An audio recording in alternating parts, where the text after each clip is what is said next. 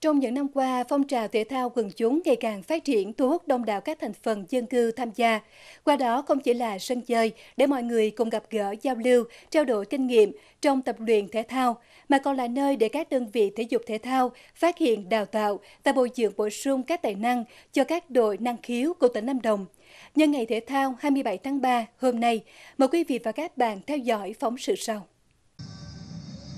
Từ nhiều năm nay, từ khi được tiếp cận với môn dưỡng sinh, các thành viên câu lạc bộ thể dục dưỡng sinh xã Tân Châu, huyện Di Linh đều rất phấn khởi và tích cực việc luyện tập.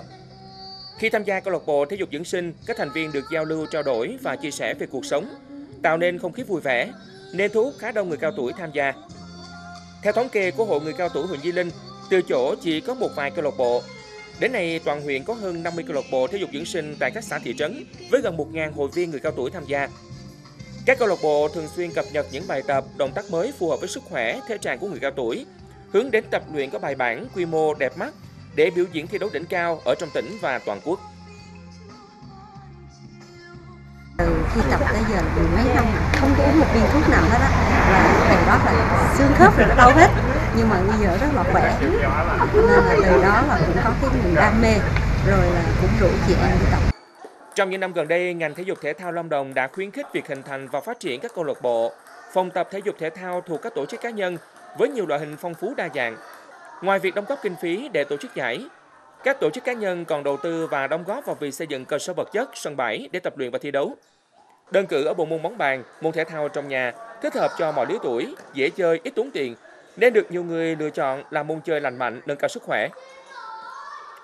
Các câu lạc bộ bóng bàn đã đào tạo và huấn luyện được hơn 1.000 lượt vận động viên trẻ, thiếu niên và nhi đồng. Qua đó nâng tầm vị thế của bóng bàn Lâm Đồng từ chỗ là một trong những địa phương chưa có vận động viên đủ trình độ tham gia các giải bóng bàn ở tầm quốc gia hay khu vực quốc tế.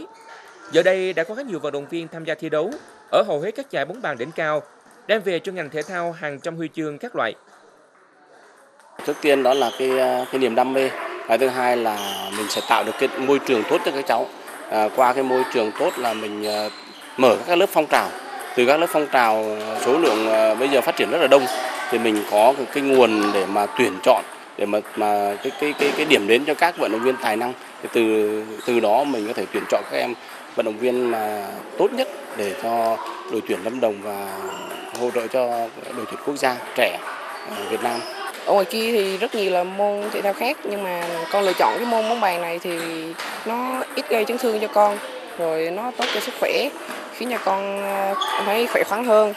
Rồi con kết bạn được rất con có kiếm được rất nhiều người bạn. Và con học hỏi giao lưu được rất nhiều người thầy có rất nhiều là kinh nghiệm và đã đào tạo lên rất nhiều những thế hệ trẻ và những vận động viên chuyên nghiệp để đạt giải thành tích cao ở ngoài giải toàn quốc cũng như là giải xuất sắc. Xã hội hóa thể dục thể thao là chủ trương lớn lâu dài của Đảng và Nhà nước, mang tầm chiến lược sâu rộng để tăng trưởng nguồn lực con người về thể chất,